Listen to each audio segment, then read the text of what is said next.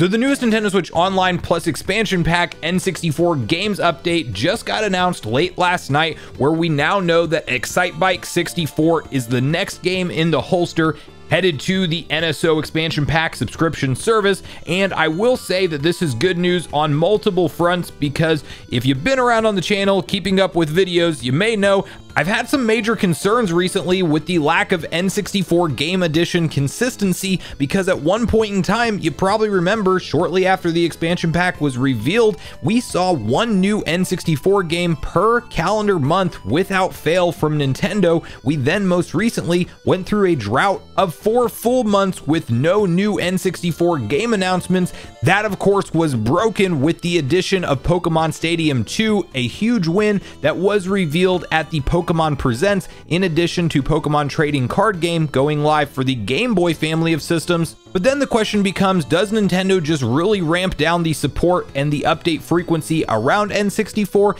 and we are instead seeing them pull that unpredictability card that Nintendo loves to do, where for the first time, we will actually have two separate N64 games go live on the service in the same calendar month, as you can see the following post over on X from Nintendo of America, which reads, Want to get some serious air? Race across 20 tracks and set the daredevil inside you free in Excitebike 64,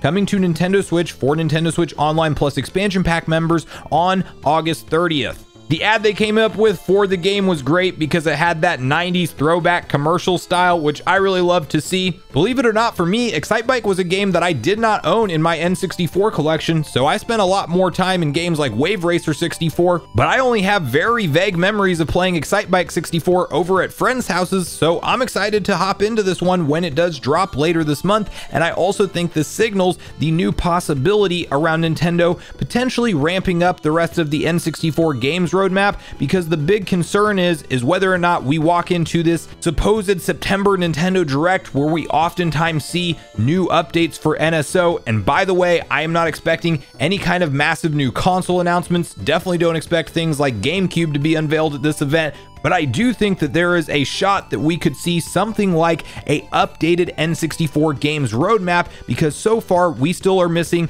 Mario Party 3 and 1080 snowboarding from the existing N64 games roadmap that was revealed at the September Direct last year. And you might remember my initial concern with that Direct presentation because the word gradually was used whenever Nintendo said that they would be adding N64 games. And that felt to me like the signal that they would start to slow down on their update cadence with this library of classic games, and of course, we saw them do that, skipping four months at one point without any new N64 games. And now we are in this environment where we don't know whether it's going to be N64 or Game Boy Advance or potentially even both, as that is now on the table due to the fact that we finally have a month where multiple N64 games are getting added at the same time. And would they do something in September where they add Mario Party towards the beginning of the month and 1080 snowboarding at the end, and then we're pretty much caught up on everything that they've announced, and hopefully we're going to see a trailer for something like Smash Bros, Banjo Tooie, Donkey Kong 64, Diddy Kong Racing,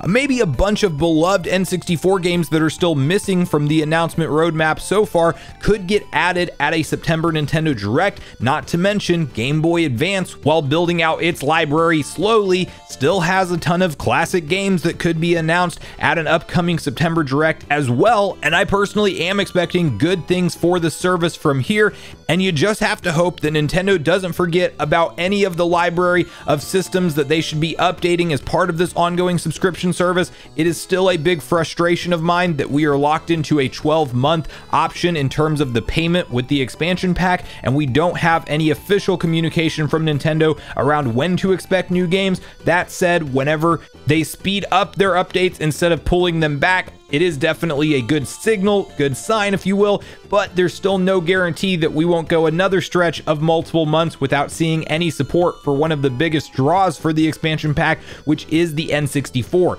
The last question in today's video around what Nintendo might do with NSO from here has to do a little bit with DLC, because you might realize that we are fastly approaching the end of the Mario Kart 8 Deluxe Booster Course Pass waves, as we should see a trailer at the September Nintendo Direct for Wave 6, 6, which will be the final wave. We should expect two more characters to be added in. There's some talk about Pauline being one of the final two racers, according to some information and leaks online. Who it is remains to be seen. I cannot wait to dive into the final round of tracks, and I hope that DK Mountain is one of the final GameCube tracks that will be in Wave 6. But past that, that was another big expansion pack selling point, and Nintendo likes to do something to really drive home the value of why you should be subscribed to Nintendo Switch Online at the September Nintendo Direct, primarily because that is when the majority of the annual memberships will be expiring. Because since Nintendo Switch Online was a thing, We've primarily seen big updates happen at that September showcase outside of the addition of the Game Boy family of systems, surprisingly showing up at the February Direct. But the idea is, is if you are in a 12-month subscription starting in something like October,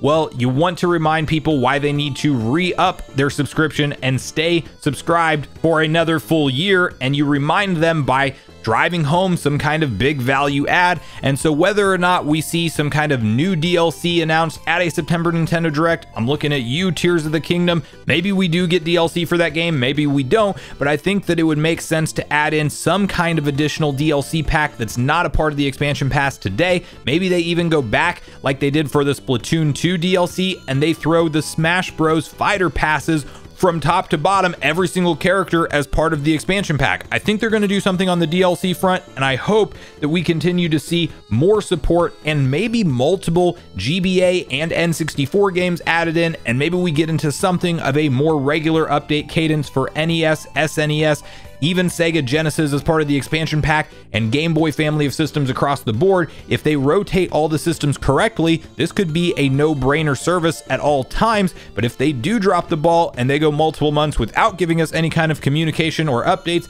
then you really have to question what you're getting for your $50 annual price point of the expansion pack subscription or your $20 annual price point for the base tier. And I am just hoping that Nintendo makes it a no-brainer decision for people to remain subscribed and not have have us looking around questioning why we're still paying them money month in and month out, or once a year if you're signed up that way for their online subscription service program. But I really want to hear from you guys at this point in the video, your personal thoughts and opinions around the latest announcement of Excitebike 64 being the next N64 game headed to the service. Are you excited for this game to finally be playable at the end of this month? Are you surprised to see Nintendo come out with Pokemon Stadium 2 and Excitebike 64 in the same month? And do you think that this sets any kind of precedent that we may see them do multiple N64 games or multiple GBA games in a single month from here? And bonus question, what unannounced games from any system that is currently supported as part of Nintendo Switch Online do you want to see added into the service next? And do you think that that will indeed happen